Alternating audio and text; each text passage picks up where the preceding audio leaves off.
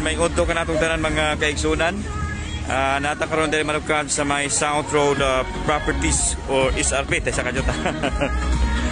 uh, karong uh, buntaga uh, mo ato ang uh, itanaw karon ang uh, turnover no sa mga modernized PUJ nga magdagan diri sa Cebu City o uh, na sa Cebu City to Liloan.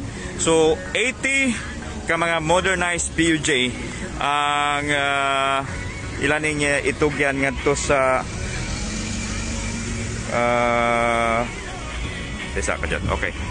Ilan niya magamit na no. Tulo ka mga cooperative ang uh, nag uh, kuha na ni naglangkob nining uh, uh, mga modernized PUJ so mo ni makadugang sa pag uh, kuha na. Uh, mass transportation. Pila to ang sa Cebu City? 65 65 ang sa Cebu City uh, madugang no sa public transportation.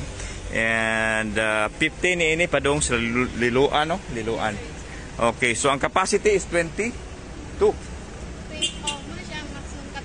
maximum capacity. 75% lang ang gialaw no matod pa ni Director uh, Monte Alto sa LTFRB mga higala.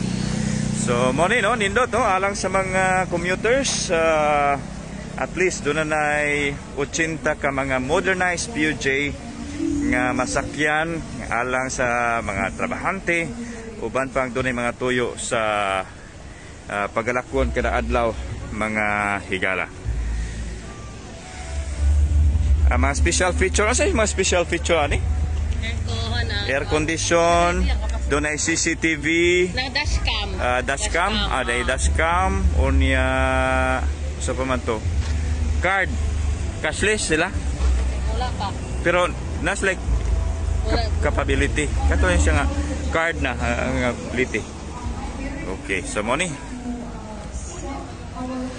Daghan yun. Pero matod pa ni Director uh, Monte Alto sa LT Parby 7, uh, dili pa yun siya ingon ka igo no sa kadaghan sa mga uh, commuters nga ga kuan nga ga kinahanglan og public transportation mga higala.